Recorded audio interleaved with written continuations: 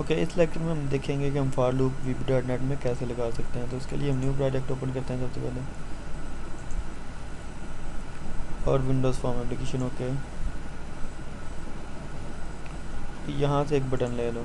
तो यहाँ पे क्लिक किया और यहाँ पे बटन ओके अब बटन की टेक्स्ट चेंज करते हैं यहाँ से। इसको अगर हम ओके करते हैं और इसकी फ़ॉन्ट भी थोड़ी चेंज कर दें।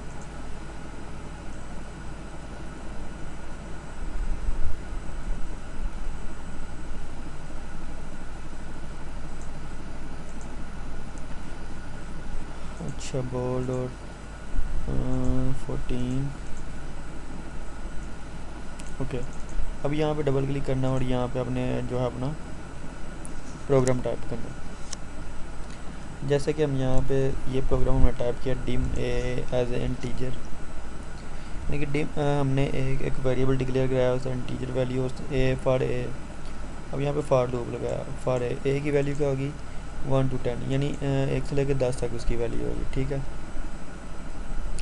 और उसके बाद हमने मैसेज डाल show value of A is equal to और एंड लिख के साथ ए लिख दिया हमने, यानी कि उसके साथ कंकेट करा दिया। उसके बाद हम नेक्स्ट लिखा। यानी कि नेक्स्ट का मतलब ये है कि वो वन में नेक्स्ट ओके जब करेंगे, उसमें वन को प्लस करा के हमें शो करेगा।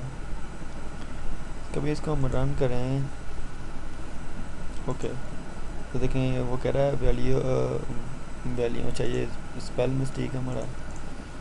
तो ये देखें three four five six seven eight nine ten okay हम यहाँ से इसकी अगर चेंज कर लें ओके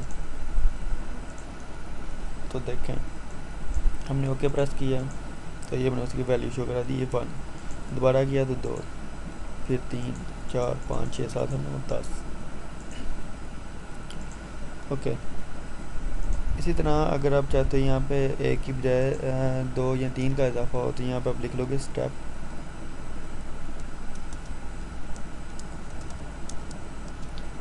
और यहाँ पे दो लिखो अगर तो अब प्रोग्राम को रन करो, देखें इसमें दो का इजाफा होगा दफ़ा देखिए वन है इसकी वैल्यू और थ्री है five seven nine end okay